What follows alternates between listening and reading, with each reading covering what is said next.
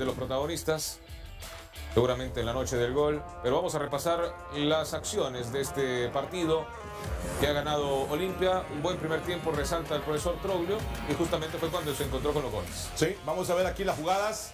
Centro del Mango Sánchez que estuvo apoyando bastante en la banda izquierda. Aquí sale el portero Pipo López.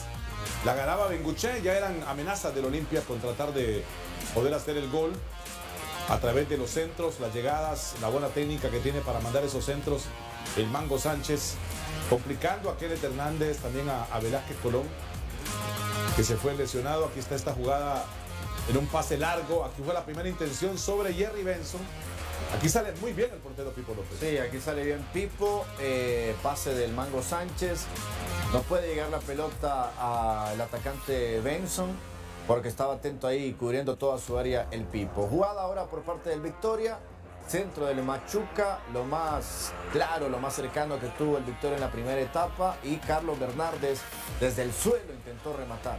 Sí, aquí la pelota es desviada por eh, termina impactando en José García en el disparo de Carlos Bernardes. Aquí un disparo cerrado, De Vega. peligroso de Vega. Alexi Vega con ese tiro de esquina, otro tiro de esquina más para el conjunto blanco. Aquí Pipo López pudo agarrar la pelota con las manos, quedarse con el esférico, porque de aquí se origina el primer tanto del Olimpia. Gran jugada del Mango Sánchez para Jorge Álvarez. Jorge Álvarez con el centro y el cabezazo de Jerry Benz. Son, son errores puntuales. Determinantes por parte del portero en una mala decisión. El Olimpia la termina haciendo bien y de cabeza, algo que le caracteriza. Mire que la, la apertura. Mire, mire ese pase, mire cómo levanta esa pelota sobre el piso. El, eh, el Mango Sánchez. Sí, y El esa, mango. esa pelota que queda rebotada, pues le permite a Álvarez mandar el centro así, globeado, elevado, y Benson que tiene una gran capacidad para, para definir el gol 155 en liga para Jerry. Seguían los ataques del conjunto blanco, acá conectan bien Pinto y el Mango Sánchez, y es Jorge Benguché el que anota el 2 a 0, minuto 35 del primer tiempo. Sí, con mucha solvencia el Olimpia fabrica esta jugada. Benson hace de, se bota. Aquí está el pase, centro de, del Mango Sánchez. Y mire cómo tiene todo. Por ejemplo, el toro Benguché para con la cabeza definir y marcar el segundo gol. Sí, siguió siendo protagonista el Mango y bueno, la confianza ¿no? que está tomando en este torneo Jorge Benguche, eh, anotando o siendo muy participativo en cada jornada. Quinto gol para él, así que también eh, peleando por, eh, la- por ser el máximo goleador.